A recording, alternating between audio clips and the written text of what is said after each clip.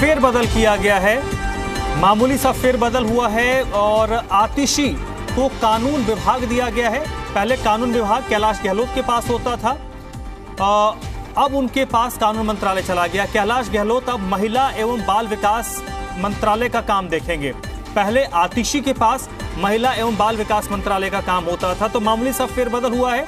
कैलाश गहलोत और आ, आतिशी के विभागों में आतिशी जिनके पास पहले महिला एवं बाल विकास मंत्रालय था, उसका कामकाज अब कैलाश गहलोत देखेंगे।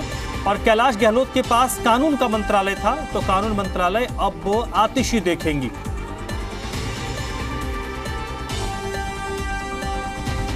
तो इस वक्त की बड़ी खबर और बड़ी अपडेट, दिल्ली सरकार में मंत्रियों के विभाग बदले गए हैं। महिला एवं बाल विकास मंत्रालय और कानून मंत्रालय इन दोनों विभागों के मंत्रियों का को बदला गया है। पहले महिला एवं बाल विकास मंत्रालय आतिशी के पास होता था। अब ये मंत्रालय कैलाश गहलोत देखेंगे। कानून मंत्रालय कैलाश गहलोत के पास होता था, जो अब आतिशी देखेंगे। बलराम पांडे इस वक्त मेरे साथ जुड़ चुके हैं। इसी पर ज़्यादा जानकारी के लिए, बलराम, ये जो मामूली सा फेरबदल है, इसके पीछे कोई वजह साफ़ हो पाई है? देखिए, ये मामूली फेरबदल किया गया है मंत्रालय में। हम्म।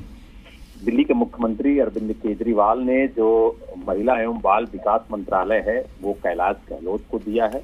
पहले ये मंत्रालय आतिशी के पास था और जो कानून विभाग था आतिशी के कैलाश गहलोत के पास वो विभाग आतिशी को दिया है। एक मामूली फेरबदल सरकार की तरफ़ से की गई है और इसके लिए दिल्ली के उपराज्यपाल डी सक्सेना को भेजा गया है और उनकी तरफ़ से इसकी मंजूरी भी मिल गई है। तो कुल मिला के ये कह सकते हैं कि जो कानून विभाग है, अब वो आतिशी देखेंगी और जो महिला एवं बाल विकास मंत्रालय है, जो पहले आतिशी के पास था, वो कैलाश गहलोत देखेंगे।